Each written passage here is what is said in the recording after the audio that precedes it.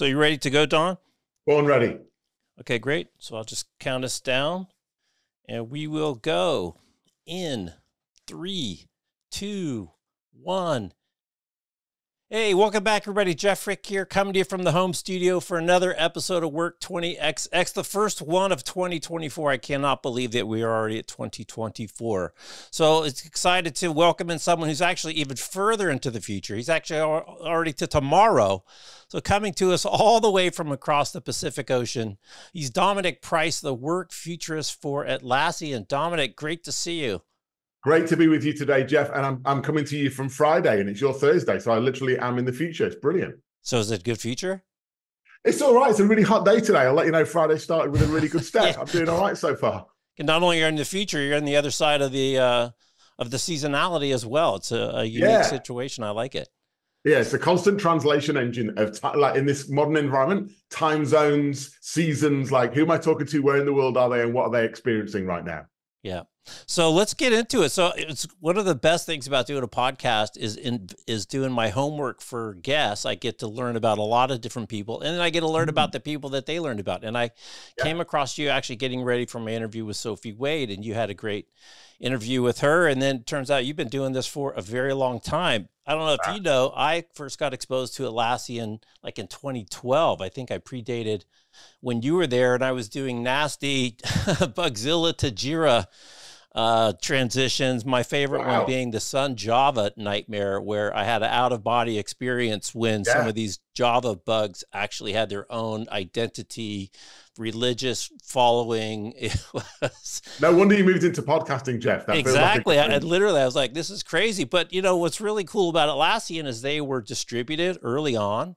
They were yeah. open source early on. Yeah. You know, Scott and Mike, I think were probably profitable early on. I don't remember yeah. exactly, but you know, and they took money from Accel. it was 2014. It was kind of like eBay. They kind of took it because they had to, but they didn't yeah. really want to. But they, you know, kind of to be in the Silicon Valley Club. So pretty progressive company. You've been there for 10 years. I just had a post the other day that you quoted you saying you hated it when you first joined, coming genuinely, from such a structural thing. Yeah, genuinely detested it. I, I those first 90 days, I still have like a, a visceral memory of experiencing organ rejection.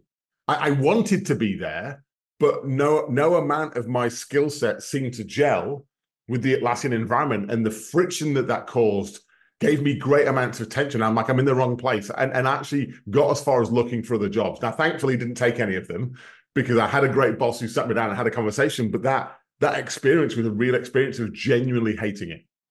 And you've been the workplace futurist. I mean, you had that title early on. So how did you get that? I mean, this is pre-COVID. You guys were already distributed. But what's funny, I saw in an article getting ready for this that you said when COVID hit, you realized you guys had actually been doing it wrong. That you yeah. weren't that as probably the preeminent distributed company, you still weren't really ready and hadn't really made the full transition uh, yeah. as someone like me might think, looking from the outside looking in. So, so the the the interesting thing, the, the outside in perspective is fascinating, right? So, I, I, think we tend to look either with a halo, right, or with the devil's view when we look at an organization. Either everyone in there is evil or everything's awesome. The reality is, it's normally part of both, right? So, at Atlassian, we take like a whole lot of steps forward, and then we do some stuff, and I'm like, why did we do that? And we did it because we're constantly exploring and experimenting. And when you do that, you have to admit some stuff goes wrong. It's just that people don't want to hear the go wrong stories. I, I, get on stage and tell them all the time, and people are like, oh, that's cute. Tell us another story about how great you are. And I'm like, no, you need to understand the challenges that we overcame, the mistakes we made to understand how we got to where we got to. So the, the experience for me is more important than the destination. Like you need to understand how we unravel that. And throughout my career at Atlassian, we've constantly got stuff wrong, right? But we've learned from it. We've gone, what do we get wrong? How can we do that differently? Is the problem still there? Like, there's not that that punish culture. No one's going to get fired for it. So therefore, how do we learn from it and use that as an experience that we build upon? And we did that through through the pandemic. So I I originally started as our head of program management. I was doing delivery and execution. One of our experiments three years in was, hang on, is this all about delivery or is this about scaling how we work? And me and my boss at the time were like, it feels like a, a bit of both. So we made it both. I spent half my time on how we work, half my time on delivery. And then I sat there one day and I was like, I really don't enjoy the delivery part. Like it's not, it's not giving me joy. Like I, I can do it. and maybe I should do it, but it's not giving me joy and satisfaction. And I don't think I'm thriving in it. And as we got bigger, I, I found it less and less enjoyable. So we hired someone to do that. And, and we're like, let's just focus on the how. How and the how was as we had twice as many people next year, as we had more customers, as we get more competitors, as there's more complexity, how do we go about thinking how we might work next week, next month, next year? So that's where the futurist part came in. And then the biggest realization we had seven years ago was the entire economy, our customers and people that weren't our customers were struggling with the same thing. So instead of keeping it to ourselves, to your phrase before, how do we open source some of this stuff as part of our mindset of how do we share this with others so everyone else gets to benefit from our lessons learned, right, which is what we right. did about seven years ago which is which is great and i think that i think the open source ethos that comes from mm. you it comes from gitlab it comes from red hat you know that's such an important piece of of of a software culture i think that that has such a great benefit especially for security and most recently how people work but i want to get into you've, you've you said you kind of wrapped up 10, 10 years worth of work in 20 words or less you're the modern work manifesto so you've got about six items here of some yeah. specific things well, i just want to read them real quick so people have them context over content, um, mm. evolution over transformation, um, outcomes over outputs. We'll get deep into that one. Adaptability over adherence. I love that one. Team over individual and vocation over location. Yeah. So those are six lines, 12 words, um, some really important concepts. Which ones, in your experience, is the hardest for people to grok? Right now, context over content and, that's because of the technology boom. And certainly, we're we're on the early side of the wave of, of AI. But AI used incorrectly will just develop more content. And, and I don't think we're actually hungry for more content. You know, when, when when we have email and then we had Slack and Teams and chat, we didn't need more ways to communicate. We actually wanted less ways, but we have this weird human behavior of creating more. And I think AI might do that, right? I, I don't need more articles to read in the morning. I just want to consume the news. And if I have to go to 10 sources and those sources are verbose, you've not given me context, you've given me content. And in the business sense, leaders that I work with are like, I, I really want to know what, what's the next action I should take? Is there a decision required? Um, is there an escalation I need to do? Like, what's the next best step I should do as a leader? So give me the context. And I'm like, what did you get? And they're looking at it, like, I got a hold of content. Essentially, the three letters that kill me on any given day, FYI right? The minute I get FYI, a little bit of me dies, Jeff, and I'm like, what does that mean? Do, I'm, I'm, I'm just reading it and going, cool, that that's nice, or am I meant to do something? And so context in business just means like I know what to do next. It creates a do-ocracy, whereas content, like, nice, thanks, I, I know a bit more. So when you said open source before, open source always triggers me as a, as a phrase because I, I think we need to understand the philosophy behind it, which is knowledge isn't power. Application of knowledge is power. Right. So if knowledge isn't power and therefore it's not value, I should share knowledge for free because I know it's only the application of that knowledge that creates value. Right. I think that's the open source ethos. Right. And it's the same with context over content.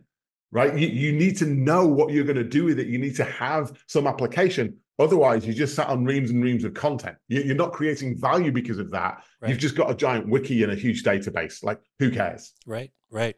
It's interesting. You know, I'm, I'm going to a birthday party later tonight, and this person's turning 60, and I don't think they're super happy about it. But it's kind of is 60 older? is it young? Well, ask an eight year old or ask an 80 year old. Yeah. You know, without context, it doesn't really matter. And, and the answer to the question is something completely different. I mean, my other favorite one is going 50 miles an hour. Well, are you on a bicycle or are you in a Corvette? Yeah. You know, makes a big difference. but Jeff, if, if you if you layer that into the business context, right? So so the, the way this modern work manifesto came about I spend half my time outside Atlassian, right, with companies of all shapes and sizes. Sometimes startups, scale ups, right, whole lot of fun tech stuff and, and non tech and biotech, whatever. And then a whole lot of like established enterprise. The barnacles are welded to the bottom of that ship, right? They're 200 years old and th- th- they find it hard to change. But the thing is, every time I chat to them, they're like, here's the thing we're trying to achieve. And you're like, cool. Why are you looking at Spotify? If you're an insurance company, why don't you want to be the best insurance company for your customers? And why don't you try and understand what they need? Because they're not looking to you for a music streaming service. I love Spotify, but if we put the same companies on the same pedestals, I think that's the wrong aspiration. versus saying, what's the context of my industry, my environment, my sector, my customers, and how do I delight them? I think you're going to make way more valuable steps in that process. It might not be as sexy. You might not get a Harvard Business Review article written about you, but you'll build a sustainable company that can thrive. Right. right. Versus versus building a PR message of we we were going to do squads and be more like Spotify. And I'm like, but why? Right. That's that's not the environment you're in. Right. You're you're in a bike and I'm in a car. So I am going to go faster. That doesn't mean you're not going fast. Right. Right. Well, let's look at number two evolution versus transformation. And it's something you talk about a lot, which is kind of this mm-hmm. 1% improvement every day compounded over time. And you can actually make pretty significant progress. And the other kind of verb you used you like to use all the time is experimentation. And yeah. I don't know if you know, but one of my favorite business leaders, Scott Cook from Intuit, I mean his yeah. his foundation of that company's quote is build your company on the back of low cost experimentation. Yes. Because that's the only way to discover. And you've yeah. already mentioned here kind of do-ocracy. Talk yeah. about how you managed with those types of values and how you encourage people on the team. Yeah, so the transformation comes up like, like let's just acknowledge the reality we've been in for the last 10, 15 years, right? There's been culture transformation, agile transformation, digital transformation. Wonderful, right? There's there's some really good friends of mine, probably some friends of yours that have made some amazingly large amounts of money selling transformation. And then I go into the companies that have allegedly transformed and I say to them, you kind of smell and look and feel very similar to you did before you spent $60 million on transformation. Now, you've got nicer posters on the wall. You've got more and more rituals. God forbid, there are thousands of rituals now, but I'm not sure you're actually more effective. And so sometimes the outside in, you know, the outside in value of consultants can be really high. Sometimes you need to be able to take the first step yourself. And that's why the exploration and experimentation becomes key. Like if you've hired the right people, how can you create an environment where they can safely explore and experiment at the edges, right? It's not a bet the company experiment, right? It's small micro experiments and exploration. And then how do we learn from that and how do we apply that learning? So my, my favorite thing for 2024 that I'm passionate about with my team is the method is, is experimentation. The outcome we want is learning velocity. So I've said to my team, our goal in 2024 is to learn faster than our competition. And, and, and because we learn faster, we can get more value into our customers' hands quicker. That, that, that's our goal. We're like, cool. Then we ask the question, how do we measure that? Let's deal with that later, because that's really hard, right? But right. is it the right thing to do? Yeah. So learning velocity is this, how tight can we get that cycle of learn a new insight? Now I can Google best practice, blah, blah, blah, blah, blah, and I'll get an answer because a thought leader somewhere published a very generic answer that me and you know is not true. So I can Google that and apply that. It's not going to work for me because it's not got my context. I've got my context though because I work in my company. Right. So if you've got staff who are smart and driven and intelligent, they've got the context already. Your job as a leader is now to give them space and permission to explore and experiment. And then your, your measure of success is how quickly are we learning and applying that learning? That makes you a more nimble organization. Now, most leaders I chat to would pay huge amounts of money for that and don't realize that gold mine is in their organization. They've set up the wrong environment, right? So they're punishing it rather than recognizing and rewarding it. Right. That's interesting. You say you know you're trying to increase learning velocity another thing we hear often in organizations is, is decision velocity you yeah. know people are trying to make better decisions but also just make make faster decisions because just by rule making more decisions is good and you can you can course yeah. correct uh, i wonder if you could talk a little bit about psychological safety and maybe a couple of experiments that mm. have gone wrong because I, I think people miss psychological safety and that that is really in my my book the key to innovation because that enables people to make to make mistakes because they experiment because just by the portfolio rule some of those experiments are going to go bad so if they don't feel comfortable making a mistake they're not going to make yeah. this so wonder if you could share some experiences of yeah. maybe some experiments that didn't go the way that yeah. that you'd hoped and how you know you help people make it a learning moment and not not a post-mortem something bad happen. yeah just so let, us just just for your listeners let's let's just pause and, and, and take a moment there because there's there's a bit you've summarized very succinctly that I think is huge, right? If you haven't got psychological safety, please don't try experimentation or exploration. Like, please don't, because it's actually a waste of time, right? You've you've not set up the environment, so you're not going to get all you're going to get is some adherence, a little bit of splashy pretend play, but no one's going to be feel comfortable playing. And you're going to get really mediocre, safe ideas that that deliver probably nothing, right? You're not going to get, you're not going to have the the innate trust to to put yourself out there, right? Without that psychological safety. And so I feel like with the current team I'm with, quite fortunate. There's a lot of teams where, when I'm working with them where without that psychological safety, you see them layering in more and more, and actually it diminishes the safety because they add in more and more process and you end up with the leader sat there going like, I need you to innovate. And you say, and then you know oh, We need a sacrificial lamb. We're going to fire Jeff. Jeff's the problem. We're going to fire Jeff. We're going to hire new Jeff for twice as much money, and we're going to tell them to innovate. And we'll create innovation. And new Jeff comes in and goes, oh, I don't feel safe either, but you're paying me twice as much. So I'm marginally happier, but I still don't feel safe. This weird coefficient of safety is not there. And so what we do now, every time me and my team run um, an offsite, our first day is walks. Not not not work, not whiteboards, right? We're not in a square box. We've not got marker pens. Uh, we're not doing any weird, we're sort of te- not not. I wouldn't even call it team building. We're going for a walk because we we care about each other, right? And, and Sven will tell stories about his holiday and his daughter, who's now a teenager, and he's worried that she's going to move out of home soon. And you know, he's moved from from Europe and then to the US and back to Europe and change role. And we're going to talk about that. Mark's going to talk about his kids, right, and the family and how much money he spent on Christmas decorations. We're just going to hang out together because we've got this layer of of connection that means we care about each other as humans first. And so we are we now trust each other to have an argument. And so the reason I'm going to do that walk is is January last year was the first time my team came together. We had never physically been together. And the very first thing we did when everyone landed was we put our trainers on and we did a big lap of Sydney. And then we got in the meeting room and we had this argument about something in the meeting room that I think we'd probably been submersively talking about for three months and done nothing about. But suddenly in that room, with the safety of that walk and knowing each other and know, knowing that there was no recourse anymore, everyone brought their true self. And I just sat back and I'm like, damn, like we had the most brutal discussion and argument on the whiteboard. You're wrong, I'm right. And we we really got into the nitty gritty of it and we got to an answer. But I'm sat there going, I think we've secretly been debating that for three months, but we didn't have the safety and we didn't have the trust in our environment. And this is where distributed is hard, right? Doing that on Zoom would have been infinitely harder than doing it in person. That that felt like a high fidelity in person conversation. Right. But again, we can't wait for in person conversations to build psychological safety.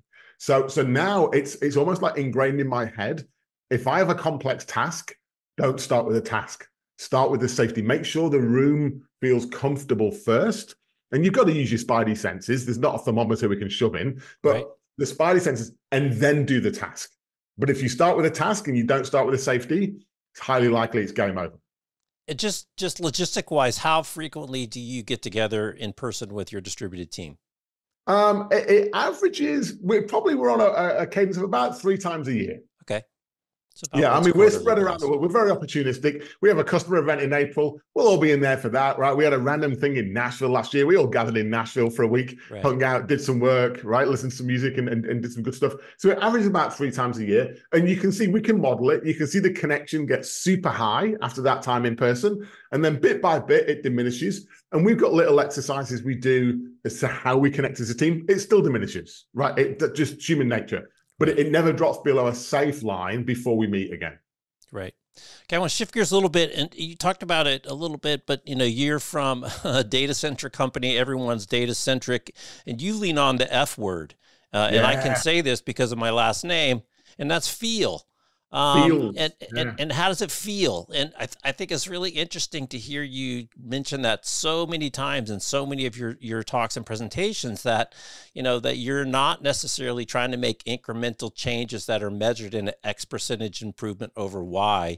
You're looking for foundational changes in learning. So yeah, there's data, but it's feel. How do, how do you how do you uh, square that circle in a data centric world in a data centric company? It's like so so i can get proxies right and, and the proxies are okay right I, I, I don't i've never lived in a world of exact science and nor do i think the world we're in is one of exact science so i'm okay with the ambiguity i work with a whole of engineers and scientists that are not okay with ambiguity, and that's fine, right? Our differences are what make us unique and brilliant, right? I love that. I don't, I don't want to, I don't want them to be better with ambiguity, and I don't want to be as scientific as them. We're, we're both happy being each other. It gets to the point where I'm like, at, at, a, at a macro level, does this feel like the right thing, right? And and the reason I mention that is that tends to be the last conversation or the conversation that never happens. So it's like, here's the thing we need to do. How do we measure that? Or here's a measure. How do we do the thing? And the blinkers come in. And all you're going to do in that world is what you did last year, but you're going to run at it a little bit harder. And so all, I, I, I do a lot of coaching and mentoring externally. All these leaders are like, I need a 10% improvement in my business next year. Otherwise, I'm, I'm done. And I'm like, cool, what are you doing? And they're like, so here's what we did last year. And we're trying to like do that again, like a little bit faster and cheaper. And I'm like, that that won't work. Because you've done it so many times, you're not cutting ham anymore, you're hitting bone. And so there's, there's nothing left to cut. So instead, how can you do things differently? And, and what does different look like? And so that, that that's that's just a completely for them a, a mindset shift right in conversation about how you think about that. But it's then around going, okay, if you were in a thriving business right now, what would it feel like? That's all I ask you. What it feel like? And they can explain that. And you're like, cool, do those things. Now, you you still need to find a measure of proxy. But and the reason I use the word proxy is, I, and I don't know if this is post-pandemic, whether you sense the same thing. It could be um, related to the economy. I feel like measures have become very short-term and very like immediate gratification. Like if it doesn't pay back right now, it's never going to pay back. And my concern with that is, I think if leadership, the role of leadership is to find fertile ground, to plant a seed, to nurture a seed, to grow a forest. And when we talk about measures, we tend to say, Jeff, how many forests are you going to make? And you're like, I don't know. I honestly don't know. I think my job as Jeff is to find fertile ground. I can't guarantee when I find the ground that it's fertile that that seed will work and I'll nurture. I can't guarantee the weather. I can't guarantee everything. Right. But I feel pretty confident that I found fertile ground in this field. But you now need to give me time to invest in this ground, to plant the seed, to nurture it, to grow the forest. Some of it will grow into giant forests, others won't, and we'll learn from that. But make the job finding fertile ground. And I think when we talk about data and measures, we go into forests. And I'm like, it's not that the forest is bad, it's just a distraction from the actual job, which is to find fertile ground. Right, right. Just makes me think of um, I had Phil Simon on a little while ago, and he talked about Goodhart's law, which is you know as soon as the as soon as the measure becomes the objective, it's no longer a valuable measure anymore because you know now you get to you get distracted by the measure, and you see it all the time in sports yeah. and so many 100%. things. They measure everything except who won and lost the game, which is really all that really matters yeah. at the end of the day, but I, it drives gambling and other things. But one of the techniques you use, I think, is interesting. I want you to, to give us a little background. Is doing something completely different and off the grid, and then just letting it, as you said, kind of stew and sit and boil and you know, kind of like a like a like a sour mash. You know, just let it stew in there, and that that there will be a time where then it will surface and you'll yeah. say, ah, now, now I realize that's a really interesting way to try to get broader perspectives and really open yourself up for the opportunity yeah. to listen and, and see and hear new things.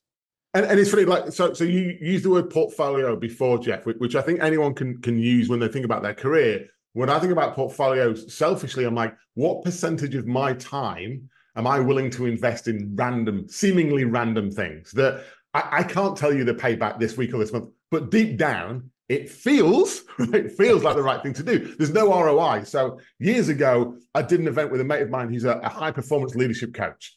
Um, I sat in a room with a neuroscientist talking about experiments they were running on elderly patients that had pain and pain management wasn't working. So they're using VR and AR to retrain and remap their brain so they didn't feel pain anymore. And I'm like, that's random. That's completely weird. I, I met uh, RC Buford, the CEO of San Antonio Spurs, talk about how they use values in hiring uh, not only the development team, but the entire basketball team and how he thinks about values and how he visits the family of every player before he signs a player. Right now, these seem completely orthogonal to what I'm doing tech, collaboration, future of work, but each one of them kind of fits somewhere at some point. So I, I carve out a good week, a year where I'm like, it's just speculate. There isn't, it's purposefully no ROI. If there's an ROI, it goes in a different bucket. It's not ROI. It's there might be something there in the future. Let's go and speculate. Let's go and play together. And that playfulness means that I get to explore the world's best case scenario, worst case scenario, even. All I do is get rid of my confirmation bias because my confirmation bias kicks in because I chat to the same people all the time, and my blinkers. Right. I go to these events, my blinkers come way out, and, and that forcing function. I think we all need a shock to the system to force us out of our environment and just go, hang on, what what if there was a different way? What if I could learn from nature? What if I could learn from a sports team? What if I could learn from a random other industry or environment or leader and just go out? And I think when we go out, we really give ourselves a chance of coming back in and doing great work pretty good segue there is really talking about teams. You mentioned you mentioned the San Antonio Spurs, and you've you've talked a lot about kind of thinking in terms of teams and then mm. teams of teams. Um, yeah. And really, you know, this is the great line: if you want to go fast, go by yourself. If you want to go far, go as a team. And mm. you know, it's it's interesting how you've you've kind of organized it around this concentric concept of team and teams of teams and managing teams and making teams yeah. productive. I wonder if you could share some of the the learning. Yeah. Where does that come from? Where's where, where's some of your philosophy uh, derived from? Yeah, so let me share my mistake first, Jeff, because it's only fair that we share mistakes. So I joined Atlassian, Atlassian stock ticker symbol teams, our mission, unleash the potential in teams. I'm like, everything's about teamwork. And then I sat there a few years ago, I'm like, it's not, is it? It's not all just teamwork. There's, there's different layers. First of all, as an individual, how am I turning up in the team? How am I having space to do my own deep work, my own innovation, my own incubation, get my own tasks done? So there are individuals in teams we need to cater for. So I've come down into individuals more recently. And then I can be great as a team, but what about the network effect? Who, who's who am I working with upstream and downstream? And if I've not got good health relationships with them, then I, am not effective anymore. There's no point me churning out five things per minute if if downstream of me is one thing per minute and upstream is one thing per minute. I've created a bottleneck. So essentially, we, have come up to team of teams and down to individuals. With individuals, I do a lot of leadership exercises, and, and there's one that we, we riffed on the other week, the, the five L's, right? How do I become the best evolutionary, genuinely authentic, vulnerable leader in the modern environment? And then at a network of teams or a team of teams level, there's an exercise we launched last year that we open sourced through our, our team playbook called Network of Teams. Basically asks the question, who are the two teams upstream? Who are the two teams downstream that are in your circle of influence that without them, you can't be successful? Who are they? And what's your relationship health with them? And, and my team did it as an exercise and we are like, holy cow, like we're, we're doing decent work, but our, our success is predicated on these other stakeholders and our relationship health with them is poor. So instead of us doing more work, more tasks off our backlog, off our roadmap, we need to come out of our bubble and go into their bubble and build that trusted connection. So a lot of people think about psychological safety as in a team. You need psychological safety between teams, and that is a damn sight harder because they're a different function with a different language, with a different backlog, with a different boss, maybe with different goals or a different remit. But you're in the same organization and you're trying to ship the same value to a customer. So, network of teams for us has been a game changer. Certainly, as Atlassian scaled to say you can't be worried about every team. There's too many. Just worry infinitely more about the ones in your flow, your flow of work, and kind of ignore the other ones. They're fine. They're good. They're getting on with their own stuff. And weirdly, when you take that selfish approach, if I map the two teams upstream and two teams downstream, and those teams do the same thing, eventually we've mapped the whole network. We never have because we never map it that way. But if we all take that leap, we all improve each other's world, right? So it's kind of like a pay it forward. and for us, it means that we start to operate way more horizontally. We create value that way across the organization we are structured organizationally that way, right? We have a marketing function and a sales function and a finance and a engineering and that that vertical thing exists for an org chart, but the way work happens, the way value gets created horizontally. So that's where the network of teams, that team of teams concept becomes super important. And it's it's such a um, a force a force multiplier too, right? When you're when you spend your working time helping other workers be more efficient and helping other workers be better at getting their work done, as you said, it's a force multiplier yeah. for you and for them, and then you, you stretch it across the organization. Yeah, that's a that's a pretty but significant Jeff, impact. Jeff, you said it before, right? There's that that alternate environment, right, where you, you've got your goal and your measure, and you're like, oh no, no, everyone else, you push them away because they, they seem like a distraction. You don't want to deliver value to anyone else, nor do you want anyone else delivering value to you. You're like, go away. I'm going to create a wall around me. And that means I can control 100% of my work. And you're like, That feels nice and cute. It's not the reality. But that happens in so many businesses where each individual team by themselves looks highly efficient and effective. And you glue it together and it's an absolute cluster bomb, right? It doesn't work when you glue it together versus right. how do you innately get that as a first class citizen? It's a very different mindset. So, how do you think of? I'll throw out some terms: servant leadership, uh, service leadership. Um, you know, where basically the leader's job now, which is different from when you were mm. at the hmm. Big Four, Big Eight, is really you know creating the conditions for people to do their best work and becoming you know, almost more of a roadblock remover or a facilitator or a, a, a grease putter downer or, you know, yeah. what, whatever it is. How do you think of, of kind of formally, you know, kind of what leadership um, uh, method do you prescribe, or how, yeah. do, how do you define what you try to do? So I'm I'm not a fan of any of the religions, but the one that probably aligns the most is situational leadership, because it's the one that has for me the most amount of empathy. That says, "Hang on, like time out. Before I deploy anything in my artillery that I think is going to work, what's the actual situation, right? Because because I've done it before where I've plowed into a situation and gone, I can solve this, and they're like, you, you can't because you've not understood the problem. Uh, your ego got in the way, and you just plowed through. I'm like, okay, guilty. I've done that a few times. So it's like pause. How do I understand the situation? Can I help, or do I need to use my network of other leaders to help? So there's a whole lot of times recently where my team or teams I'm working with are struggling with something. I'm like, I haven't got that IP. I've not got that intel. I'm not good at that thing you're trying to solve but I know someone who is, and they're part of my network. I'm going to tap them, and they'll they'll help, right. and then I'll help them. And, it, and it's not like tit for tat, but but it nets off that we all help each other because there's no one leader I know that's complete. So, and yet we play this game where we think we can be a complete leader, where any situation we can be presented with, like, no, I'm good at no, no, don't be good at all situations. That's a stupid goal, right? be really good at the ones you're really good at, and please don't do the ones you're mediocre at. Let someone else do it, right? They're, they're going to thrive and, and, and, deliver that better. So situational leadership's the, the one that's the, the best for me. The thing I'm struggling with right now with leaders is this desire for perfectionism and, and a desire to be uh, to have answers, right? Versus versus ask questions. And, and, and I'm seeing it quite profoundly right now. The the leaders I'm working with, where their shoulders are up, they're looking forward to 2024. They don't know what's going to happen, but they're ready to take it on. They're the situational leaders that ask good questions and they build an awareness of what's going on around them.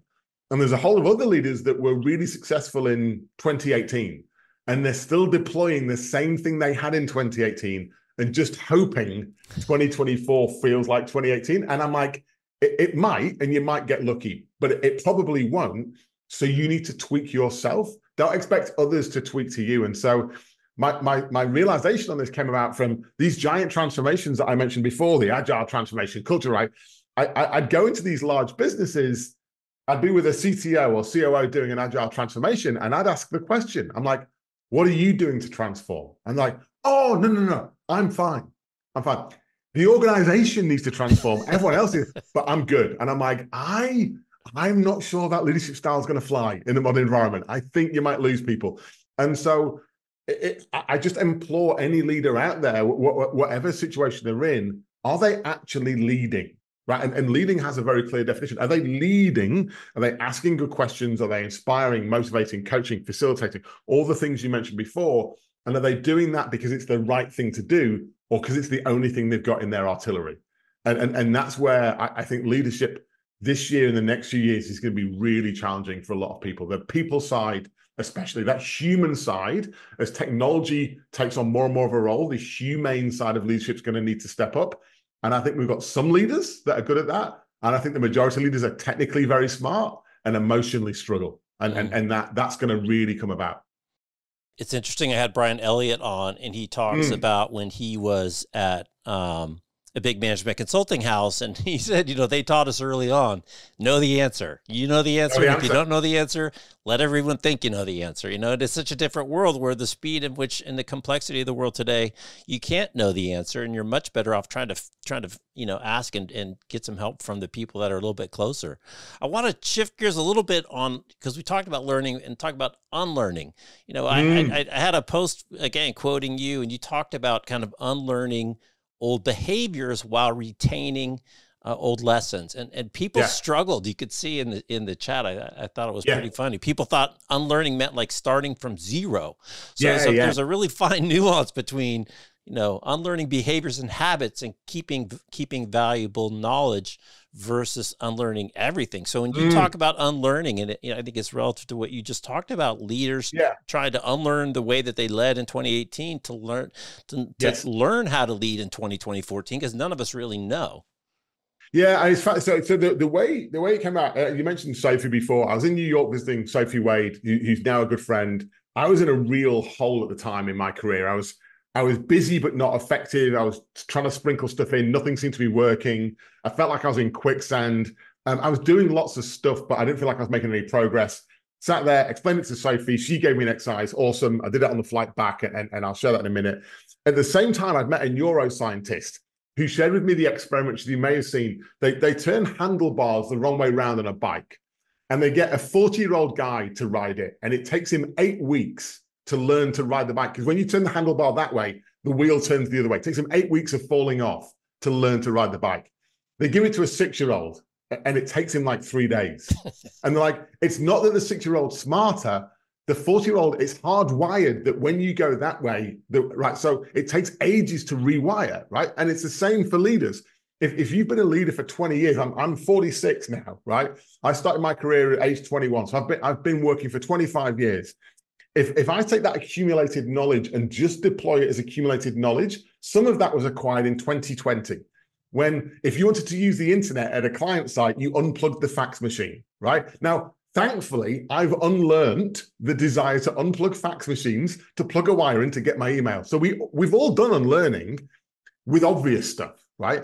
The challenge of unlearning today is what are the things that worked for me as a leader in 2018 is in that example that were great in 2018 and I should celebrate them and then have a wake for them because the environment in 2024 is different and they're irrelevant. So how do you leave that baggage in 2018 but create new baggage? right? Create new bags in 2024, but based on the environment you're in. So it comes back to the philosophy that we are all full, right? Cognitively, we're full. Most of us are probably full hours wise, right? Um, most leaders that I work with, like they get to Friday afternoon, and it's like there's a, a wine social hour on Zoom, right? Or you can go and chat to your cactus, and they're like, "I'm done." Like, I'm mentally, I'm frazzled. There's no, like, that's that's the wrong time to try a new thing. And so, what I'm saying to these is, if you're full, and you want to get better at something, you have to remove first the power of subtraction. So, yeah, the amazing Huggy Rao and Bob Sutton have written the friction book about the power of removal. There's a whole chapter on subtraction. When you remove, you give yourself space and time and freedom to do new stuff. Right. Right. So when I remove a low dividend activity, I get to experiment with a higher dividend activity. But I have to remove first Otherwise, I'm sprinkling it in. So I do the five L's. The five L's are loved, longed for, learnt, sorry, loved, loathed, longed for, learnt, and laughed at. Right. So loved, Jeff, you, you love podcasting, mate. Do more of it. You're great at it. Like, don't be shy. You're awesome. So, so the thing you love, do a little bit more of it. Find find some way bring happiness. The long for and the loathed are an equation. You can only add in the long for if you remove the loathed because you're full. The learned is what experiment did I run on myself in the last 90 days? What have I learned from that? And the laughed at is innovation, exploration, experimentation, all those things require one ingredient playfulness. Playfulness requires laughter. So if you look at the environments where you have play in work, they are infinitely more innovative than the ones where you have fear or compliance. So playfulness should bring laughter. So I ask myself every 90 days, I look back at myself as a leader and ask myself those five questions and then set actions against it. I'm going to do a little bit more of the thing that I love. I'm going to do less of the thing that I loathe. I'm going to try and sprinkle in a little bit the thing that I long for. And that that evolution is up to me to drive, right? So it's the adage: put your own oxygen mask on first. You used the phrase before, force multiplier. I reckon half the leaders that I meet externally are martyrs, not force multipliers, right? They arrive at the meeting, they're, they're on the phone, they're in the last meeting, their heads everywhere, they're not present because they're too busy, right? And I'm like, get yourself in order first, be selfish, get right. yourself as a leader in the right space. Then you can be a force multiplier in your team. Otherwise, you're the martyr, you're the anchor, you're slowing the team down. And trust, it, tr- it trust. You got to trust people. Oh my goodness. Um, so let's shift gears a little bit and talk about the company, and and specifically in the context of that you just shared, which is change versus versus foundation. And I, I, you had a really interesting comment getting ready for this, talking about Atlassian values and their yeah. five values: open company, no bullshit, build with heart and balance, don't f the customer, play as a team, and be the change you seek. You speak to those often, frequently, mm-hmm. and they and they come right out, and you can tell. AWS is another company where the leadership yeah. speaks in their values, like with every sentence that they say what what I thought was interesting is the value the value relationship to culture and your specific statement that culture changes. Culture changes over time. Culture changes based on team. Culture changes based on geography. But mm-hmm. that's okay because it's the values that are the foundational yes. thing. I think that's a really interesting take, and I, I think most people try to kind of force that force the culture thing to hang because the best yeah. part of that is that you say to new people, "You own the culture you don't yeah, like it change, change it. it. i mean that is change that it. is such a great attitude to take it's funny it's funny because you, you mentioned brian elliott before which i know we both have a giant man crush on on brian elliott uh, me, me and brian Sarah, share a similar history right working in the, the big four or big eight consulting back in the day and and i remember like culture fit was a thing there and, and it was a thing because everyone kind of looked and smelled the same and, and and and it was almost uniform like right? Now we were highly trained and highly efficient and effective at what we did but there wasn't a huge amount of diversity of thought in that environment. And i compare that to the world i'm in now. Now it's fascinating. The world i'm in now and this doesn't get talked about enough. When you when you hire for values and you allow people to change the culture and you hire from a diverse background and you create psychological safety and inclusive environment, you add what feels like a huge tax. No one wants to talk about this, right? If you hire people that are the same as you, you all agree. And work happens really quickly. It's just so nice. It's not effective. You don't create anything innovative because you're the same person split into two, but it feels seamless, right? Uh, you sit me in a room with seven people that are different backgrounds to me and get us to solve a problem together, it's going to take us longer. We've got to build the safety, we've got to build the trust, we've got to understand each other, the rapport, the empathy. But I'm really confident the idea will land and will be infinitely better than eight of me in the room. Right. But we never talk about the tax. We never talk about the investment. Now, it, it delivers great value, but it means it's harder. As a leader, it's infinitely harder to manage that team. Similarly for us, when you hire for values fit, it's harder because we do values interviews. The value interviewer has veto rights. It means we say no to a whole lot of people that we don't think will add to our culture. But it means every time you hire a really smart person, you then have to give them permission. You have to give them that trust to make changes. And you're like, but we just settled on that thing. And they're like, I might want to change it. And you're like, oh. And so there is a side effect to not having sacred cows, right? Sacred cows are kind of really nice in an organization because no one challenges them. But in our environment, everyone challenges them. Right now, that comes with a value, like it creates value of change, nimbleness stuff, but it can be exhausting. And, and so when I say to people, to, when, when they're comparing those, I'm like, do this stuff on purpose. It's just like micromanagement. People ask me if micromanagement's bad. It's not. If you're in an environment and you don't have values and you want everyone to comply, do micromanagement. It's really cheap. But if you want an environment where people experiment, explore, and innovate, don't do micromanagement. Have values and give them freedom. It's not that one's better or worse, they're situationally different. And, right. and, and I think values for us are so paramount in how we work that I don't even think of them anymore. They're just innate within me. After 10 years, they're just part of how I think. Right. They come out, well, they come out in your speech and you can tell, right, that it's real. It's not, you know, you're not checking your cheat sheet, uh, your post it note. Uh, Accenture just released their um, Tech Vision. They do it every year. First, first of the year, I think uh, Paul Daugherty just released it at the Consumer Electronics Show. And I've covered that. I've covered that thing for years. And one of the concepts that came up a couple years ago is when things move slower, you could operate in the way in which you just described because the markets weren't changing that fast. And you're looking yeah. for, find something that works and then efficiency the bejesus out of yes. it uh, sell the bejesus out of it scale etc yeah.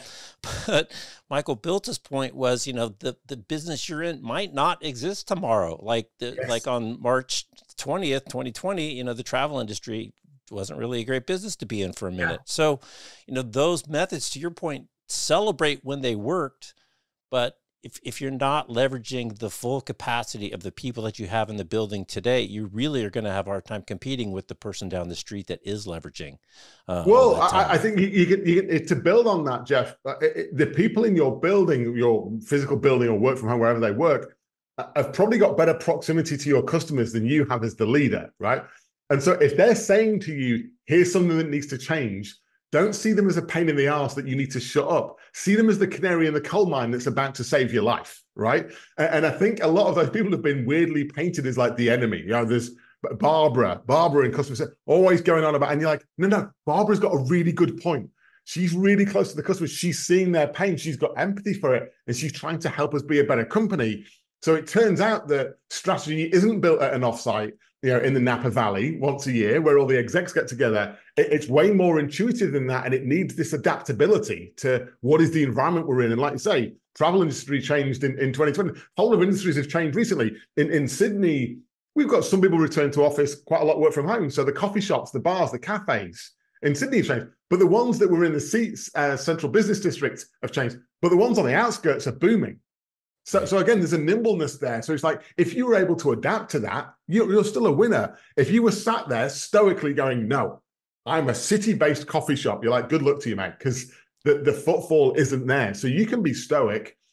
It's going to be maybe a slow death or a fast death. I'm, I'm not sure it's or adapt. But that adaptability requires ears and eyes and a little bit of humility, right? right. And, and I think we both know leaders that have that in bucket loads, and, and some leaders need to go and discover it. Yeah, and and and and and a willingness to fall down, right, and scrape your knees. Yeah. If not you, not your team. You know, and you talk about something interesting, the do do-ocracy that that comes from the trust, and and you know, getting marginal effort. I think out of people yeah. is such a big deal. Are they there, or are they really, are they really pulling hard? Um, yeah, I mean, you mentioned AWS before. They they have bias for action, right? And, right, and, and do-ocracy not not not not not dissimilar to that. It, and it comes about. You talk about decisions before as well, right? Uh, a lot of leaders that I work with are like, I want um, better decisions and faster decisions. I'm like, cool. Which which of those do you want? Because if you want better decisions, make them at the very last minute. They'll be great. You've lost the margin, right? You've lost the the upside, but you made a great at the very very last minute because the decision got made for you. If you make lots of fast decisions, some of them will be wrong, but you'll get to a great decision quicker. And they're like, oh, this is like, this is too hard. And, and, and it's it's the same, right, with do-ocracy. People like, I really want a bias for action. Here's all our policy, process, and procedure. And you're like, whoa, whoa, time out, hang on. The words you just said were bias for action, and you gave me a 20 page compliance document, right? right, right. And, and so we, we say one thing, we, we deliver another. And I think right now, when you talk about that pace of change in market, you look at the volatility in markets, and not just pace of change, but the violent swings in markets. How do I know that the policy that was written in 2018 is even applicable right now? Right? You know, the travel policy that says here's the average cost of a flight from A to B, and you're like, but that that average cost changes every day based on supply and demand. So you're like, I need you, Jeff, to be in that country with that customer.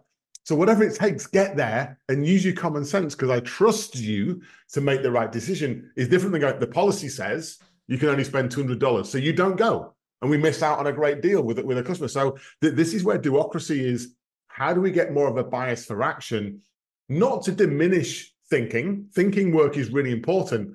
But a lot of the time we learn by doing, right? I, I, I do so many strategy offsites for companies where I'm sat there, I'm like, on paper, this looks lovely but it just bears no resemblance to the actual business you're in or the environment you're in. And at some point, you need to stress test it not through role play or simulation, but just do it. And actually, right. as you said before, the small experiment, we could have learned more from spinning off three or four people going experimenting on it than sending 20 execs to an offsite for a week. So, so why don't we do the experiment instead of just see?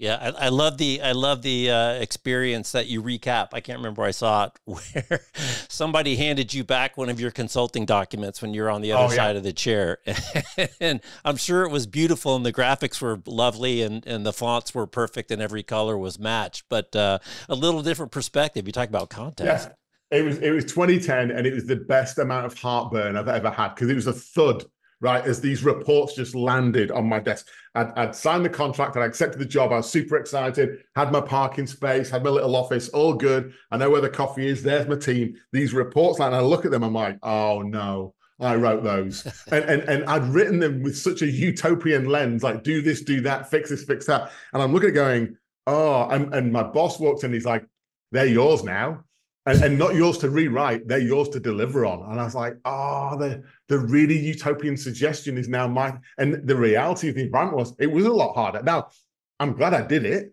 because that that learning curve I could not have replaced anywhere else in the world. Like there's a a weird serendipity about inheriting your own BS and then having to fix it, where it's like I, I've got to. This is wholly on me now. I've got to see this through. And so, whilst painful, it was very rewarding exercise.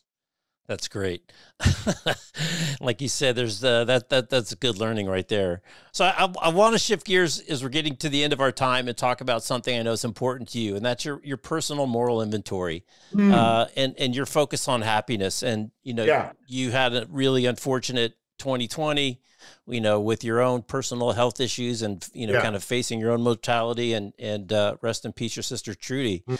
um, who passed and you know it was pretty amazing you did a ted talk about it so people can can go and check it out but it, it's i love this thing that you came up with because mm. it's you have productivity and profit so basically your financial health your yeah. relationship with people your relationship with the yeah. planet your relationship with with purpose. Okay, that's cool. But you can only score a negative one, a zero, or a one. You can't score a two. You so I love the fact that you just if, if you if you got your finances under control, you get the one. No matter how much you, you talk about it somewhere else, talk chasing the nth degree fallacies. Yeah you know, get your one covered and then go focus where you're less than one. I wonder if you can share, you know, obviously a really personal thing, but something that yeah. you you talk about the darkness during your your um, your quarantine and really yeah. deciding to choose the light versus the dark. And it sounds yeah. like it was a pretty rough road there for a while. Yeah, so let me just give the context quickly. So, um, start of the pandemic, my sister had suffered with breast cancer for years. Um, I, I, then had my own diagnosis with with bowel cancer. I had my operation managed to fly back to the UK uh, and spend a, a, bit of time with her before before she passed away, and then returned to Sydney. And it was, it was, in the pandemic, so I was in quarantine. I was locked in a hotel room for two weeks by myself. Could not leave the room. The windows were locked and screwed shut. Just me in a room by myself, going stir crazy. After some pretty horrific, sort of life changing stuff, right? And I'm sat there, and you just got too much time on your hands, and too much time either sends you down or up. And it sent me both. I had times of despair and, and times of high, and I just had this moment where I was like, I think this is on me. Like I, I think I decide whether whether I can get happiness from this or whether I live in sadness for the rest of life. I, I think most of that is on me. So what's my decision?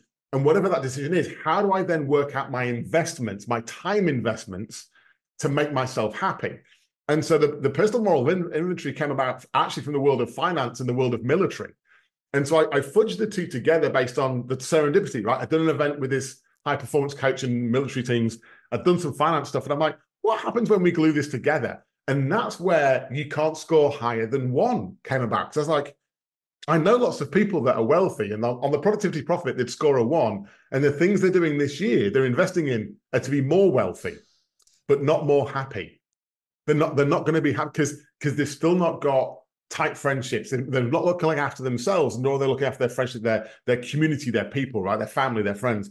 Um, they've not got a purpose other than wealth, and but they're not doing anything with it, and they're killing the planet in the process. So I know they're not happy, but they're growing one thing more, and uh, the the, uh, the descent of the other, and that's where that constraint came in.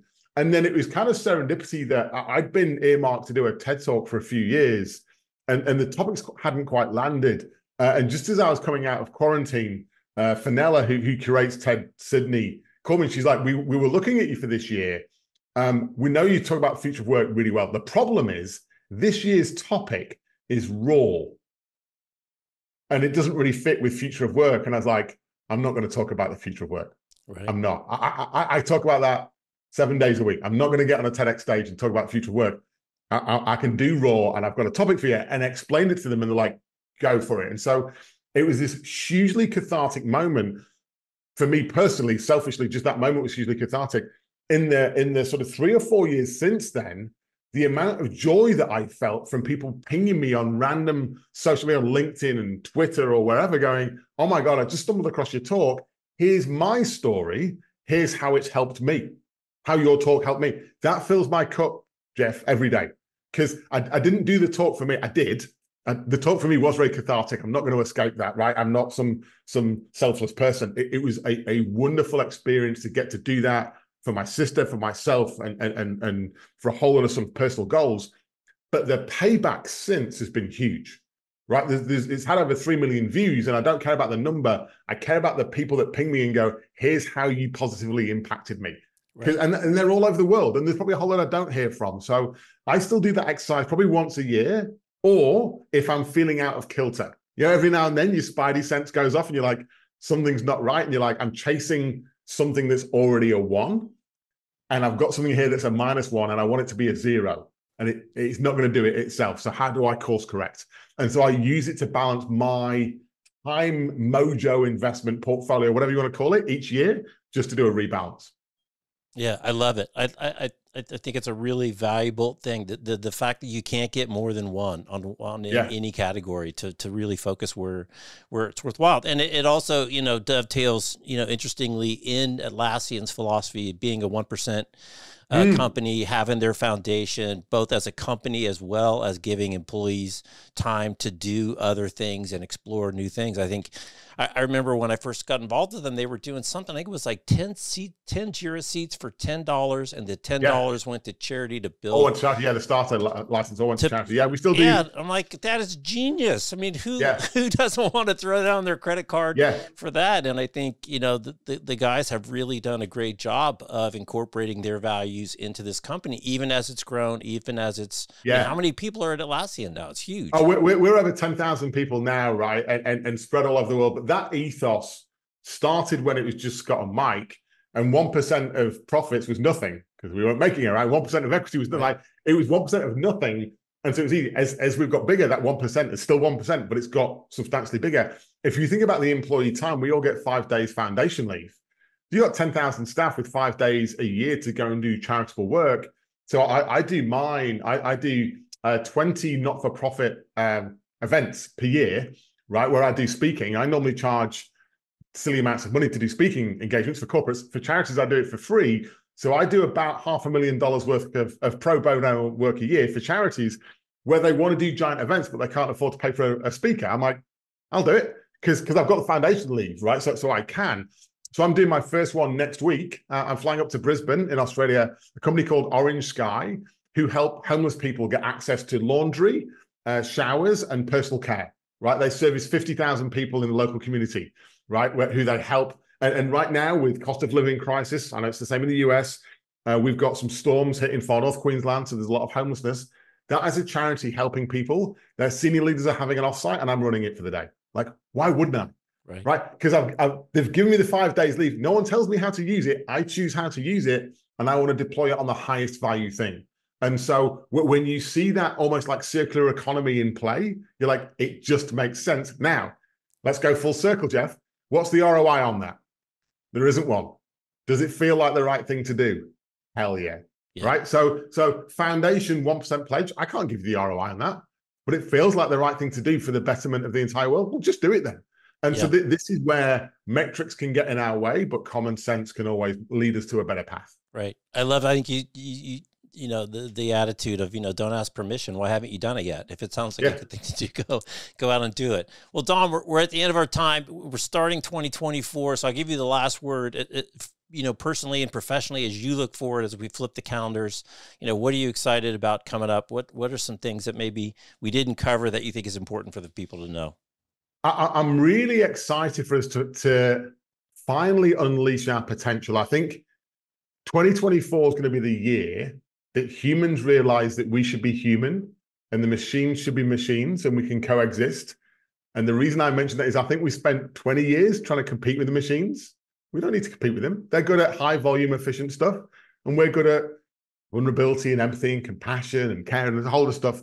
And so I, I hope that the confluence of those together means that work gets more human we get more enjoyment satisfaction engagement from it and that that actually leads to a better existence for us all that we, we are actually we get to achieve the happiness that we were all in pursuit of uh, and that we don't ever get to our deathbed and wish that we'd done something different so I, I think 2024 is the year that we grab our life and our career around the neck and go i own this and i influence it and i control it and i'm going to make positive changes for the better and i don't know what it's going to look like but we're gonna we're all in it together, right? And, and, if we do that and we treat humans as humans, I think we've got an amazing opportunity as a as a society, as a community, and a, as a set of business leaders to build a better future than the past. Not that the past was bad, but I think we can do a damn sight better. Yeah, Love it. Well, thank you. That is a great parting message, and uh, really appreciate the time, Dom. Really been yeah. been fun getting to know you and doing, doing the research for this and going through some of your library. You've got a lot of great content out there, mate. Jeff, carry on doing what you're doing because the people that you interview and the messages you get to share, each of these gets a drip feed, right? And, and I think this is this collective wisdom of inspiring people to just be comfortable trying something different. So carry on doing what you're doing. I, I really appreciate it. Thank you. Appreciate that. All right. He's Dom. I'm Jeff. You're watching Work 20XX. Thanks for watching. Thanks for listening on the podcast. We'll see you next time. Take care. Excellent. Thank you. That was great, Dom. Jeff, that was so much fun. It was so much fun.